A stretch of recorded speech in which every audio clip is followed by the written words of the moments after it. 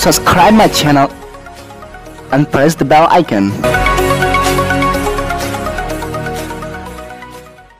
सबसे बुरी खबर सामने आया। हाय फ्रेंड्स मैं हूँ सुजीत और आप देख रहे हैं बॉलीवुड ब्रेकफास्ट चैनल जी हाँ बॉलीवुड में सबसे बुरी खबर आया है। साल 2018 बॉलीवुड के लिए सबसे बुरा गुजरा है। इस साल की शुरुआत होते ही कई चहते सितारे को खो दिया। आपको पता ही है की हमेशा से श्रीदेवी बॉलीवुड के सबसे बड़े स्टार थे, मगर बॉलीवुड में तो अब सबसे बड़े स्टार तो नहीं रहे। श्रीदेवी का अचानक मौत हो गया था बॉलीवुड के सारे सितारे सदमे में थे और इस पूरा देश भी तहलका मच गया। इस बात को लेके कि श्रीदेवी इस दुनिया में अब नहीं रहे। मगर सबसे बुरी खबर ये सामने आया है जी हाँ आप जान के बहुत ही हैरान हो जाएँगे, देश में एक महान एक्टर की अचानक मौत हो गया जी हाँ अचानक एक निर्धन हो गया बड़े अभिनेता का। मगर बताया जा रहा था कि अमिताभ बच्चन के साथ और आमिर खान के साथ कई फ़िल्मों में काम किया था, और इनकी मौत का कारण है जान के हैरान हो जाएँगे जी हाँ हार्ट अटैक से इनका मौत हो गया, और हार्ट अटैक अचानक आने के कारण इनका निर्धन हो गया। और इनका नाम है नील कमल जो कैमरा साझा करने वाले महाभारत में संजय का रोल अदा करने वाले सभी पे दिलों पे राज करने वाले ये अभिनेता का निधन हो गया। बात को लेके बॉलीवुड में सब गम में छा गए हैं। दोस्तों बॉलीवुड की हर खबर पाना चाहते हैं तो मेरी चैनल को सब्सक्राइब करना ना भूले। सब्सक्राइब ज़रूर करें। तो मिलते हैं अगले वीडियो में नई वीडियो के साथ। Thank you for watching this video and goodbye my friends